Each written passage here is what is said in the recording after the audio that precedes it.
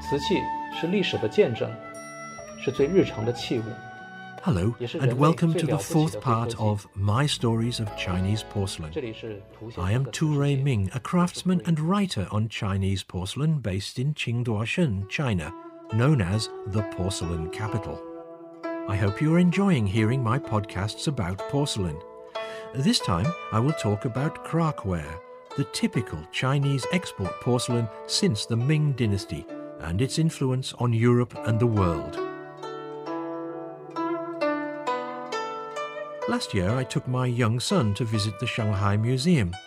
I pointed out one porcelain plate to him and said, Son, this type of plate has a special name. It's called Kraak ware.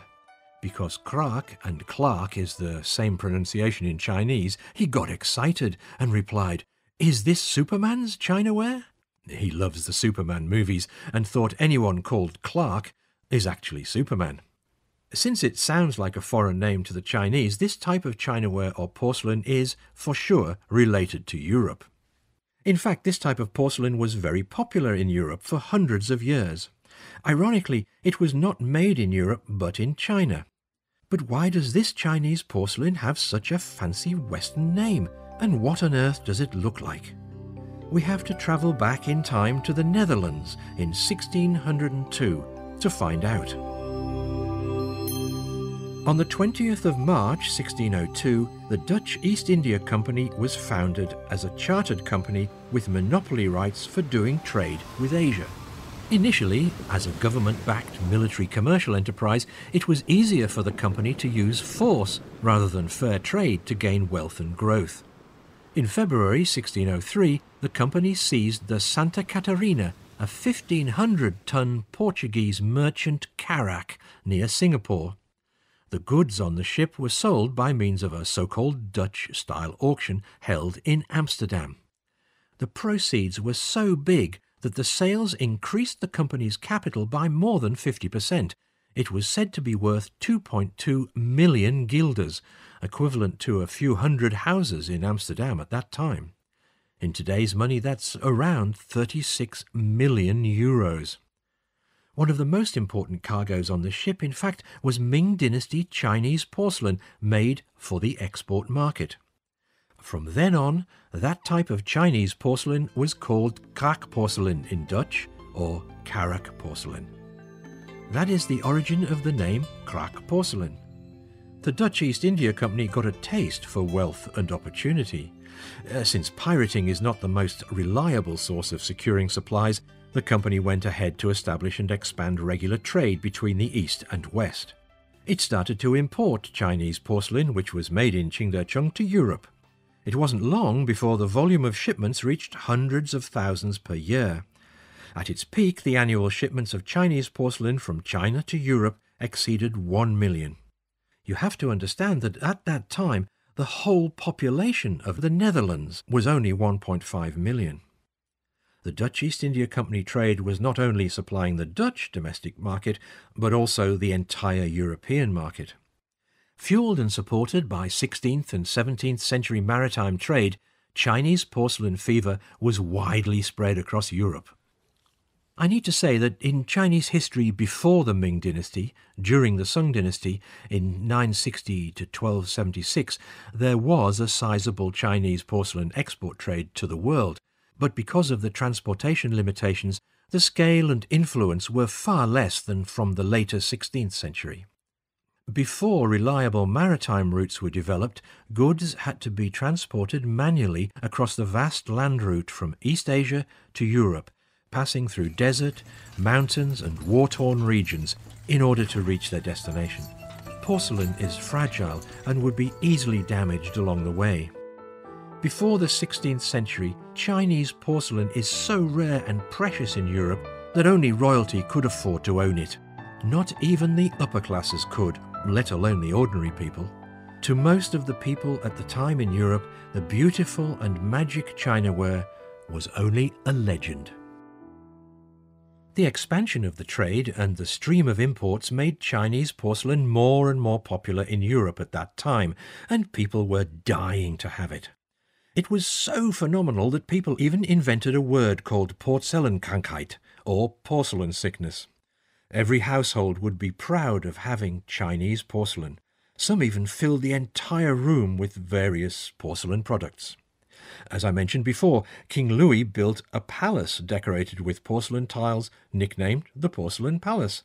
At that time in Europe, you would be out of touch with society if you did not have Chinese porcelain in your home.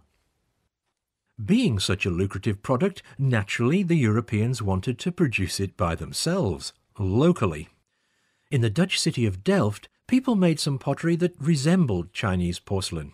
It had a similar look to Chinese blue and white porcelain, but the firing temperature was lower and the technique and materials were not the same.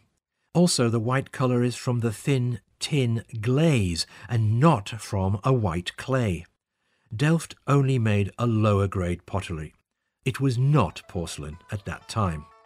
But Delft pottery was still a huge success in Europe since it was a cheap alternative to the very expensive Chinese porcelain.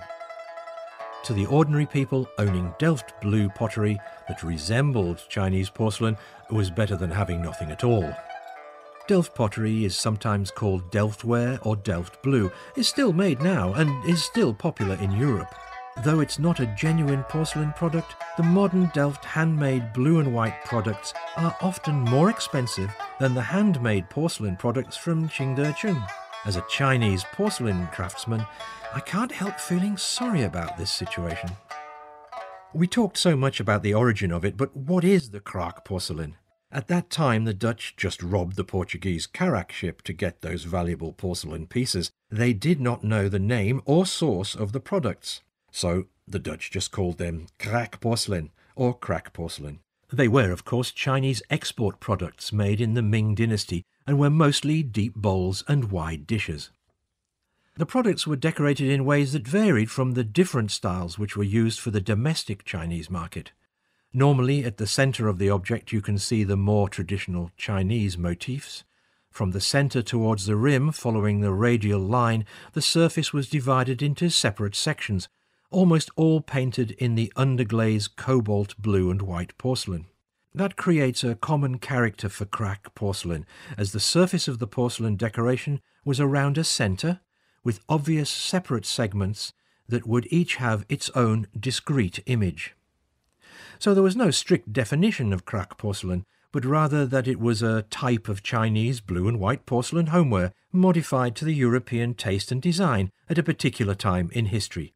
It did, however, tell us the story that between the 16th and 17th centuries, China was custom making and exporting porcelain to the European market in large quantities.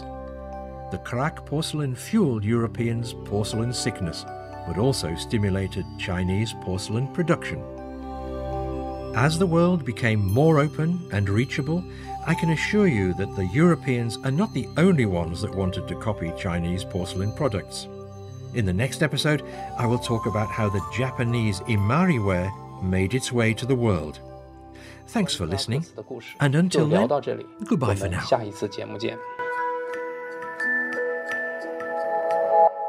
This has been a China Plus podcast. Original Chinese reading was by Sanliang Chengdu, with English translation by Graham Stevens. If you like the show, please give us a rating and subscribe to us wherever you listen. If you've got any questions or feedback, please feel free to contact us via email at podcast at cri.com.cn or on Twitter at hashtag ChinaPlusPods.